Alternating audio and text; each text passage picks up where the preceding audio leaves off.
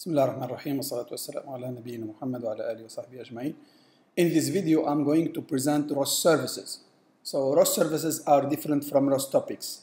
In the previous videos, we have seen how to create topics and how to work with topics. And topics are actually effective way of communication between two different ROS nodes. And it involves one node that works as a publisher and another node that works as a subscriber. And the publisher keeps sending every new information and every new data to the subscriber. This is how it works for the ROS topics.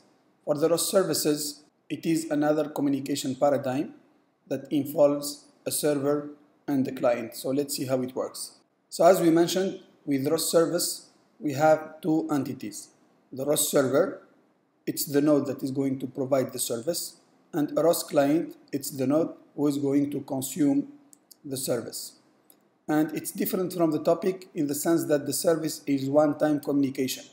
It means a client sends a request, and then the server will send a response, and then the communication will be closed. If the client would like to have an additional information from the server, it needs to send another request. So only one communication happens for every connection between the client and the server. And this is not like with topics because with topics, the publisher keeps sending information to the subscriber. Whenever there is any new update, the publisher keeps sending to the subscriber, which is going to continuously consume the data received from the publisher. However, with those services, the client will send the request and then the server will just send back a response and then the communication will be closed. There are different scenarios where ROS services are more effective than ROS topics and basically we need ROS services when we want to request a specific action to be performed by the robot. Imagine for example you would like to do a path planning from a point A to a point B. So in this case you will send a request to the planner and the planner should be implemented as a service. So the planner is going to receive a point A and a point B and would have information about the map and then is going to make appropriate computations in order to find the path and finally sends back the path to the client.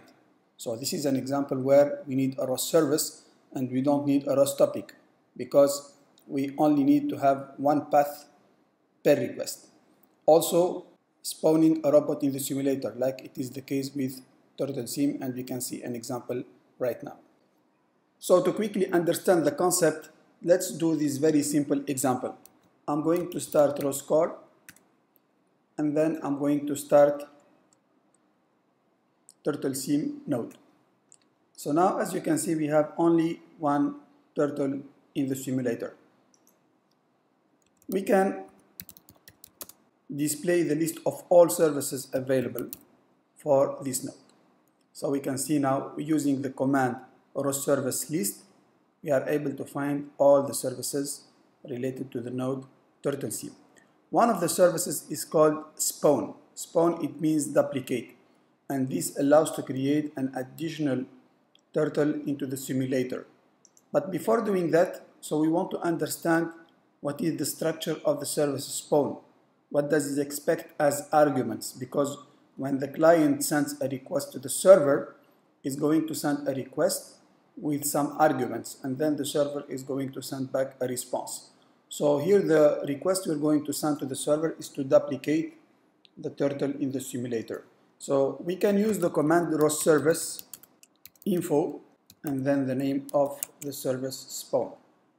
So you can see that here this service is provided by the node turtle sim so we can find ROS node list okay and here we have ROS out this is the ROS core node and turtle sim this is the node.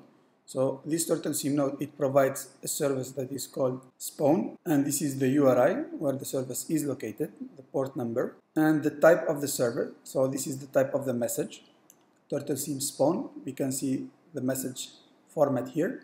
And then the arguments. So the client when it sends a request it must send the xy coordinates. It means where it will be located here in the simulation environment so from here we have 0 0 point and this point is 5 5 and then the orientation theta and the name. We can also check the type of the ROS service. This is the type here, turtle sim slash spawn. So we can use the command ROS SRV for ROS service, info, turtle sim spawn. And here we can find the structure of the message. And as already explained, the service consists of a request sent by the client and a response sent by the server. So we can see that the format of the service is composed of two different parts.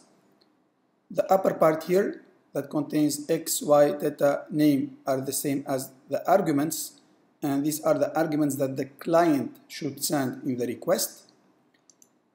And the second part here, it represents the response of the server and here we can see that the server is going just to return the name of the robot that is created. So let's try to apply this here to create a new turtle sim in the simulator. We're going to use ROS service call and then we're going to call the name of the service. So the service here is called spawn. And now we will provide the arguments of the request x, y, theta, and name. So let me create at 0.77 so remember this point is 5, 5, so 7, 7 should be somewhere here. And then this is the orientation. I will put 180. Uh, I can put 0. Okay. And finally the name, I'm going to call it T2. So you can see now we have created a new turtle in the simulator at the position 7, 7.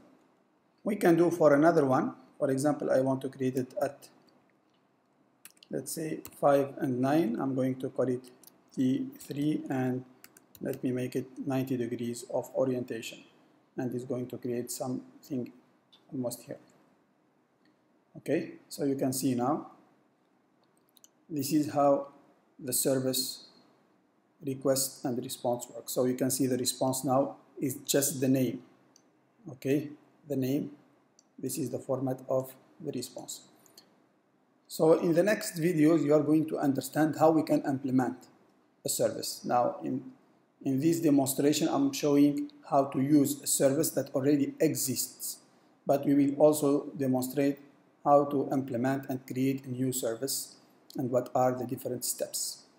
So at this point in time, you just need to understand that a service